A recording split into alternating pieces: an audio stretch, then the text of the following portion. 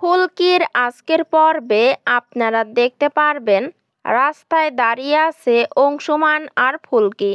অংশুমান ফুলকিকে বলে, রোহিত যে শালিনীকে বিয়ে করার কোনোরকম কোনো প্রতিশ্রুতি দেয়নি, সেটা কিন্তু ভালোভাবে প্রমাণ করতে হবে। এদিকে রুদ্র শালিনীকে বলে, আগে প্রেস কনফারেন্সটা ভালোভাবে হয়ে যাক। শালিনী বলে, এইবার আমরাই জিতব। এদিকে অংশুমান ফুলকিকে একটা উপায় বলে। ফুলকি খুশি হয়ে বলে, সত্যি বলছো দা ভাই? মা কালী তাহলে এইবার মুখ চেয়ে দেখেছে। তো বন্ধুরা, কেমন লাগল আজকের আপডেটটি কমেন্টে জানিয়ে দেবে।